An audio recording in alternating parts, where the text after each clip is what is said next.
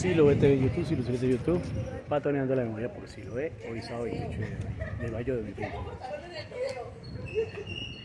Vamos hacia la casa del futbolista Norman Emilio El Barbie Ortiz, acá en Los Pomos.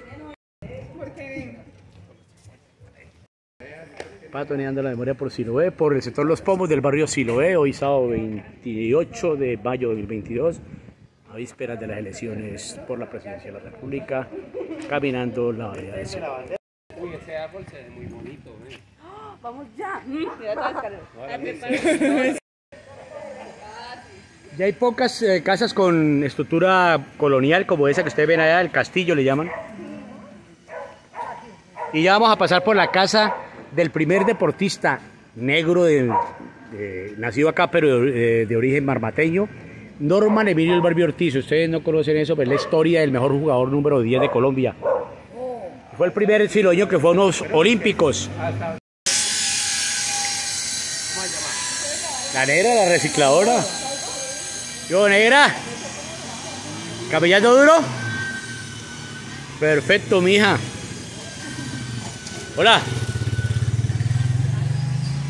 Y esta es la casa. Jugador famoso en Colombia. Y toda, nació ahí y vive ahí todavía. ¿Jugador de qué? Fútbol, huevón. Pero es como fútbol.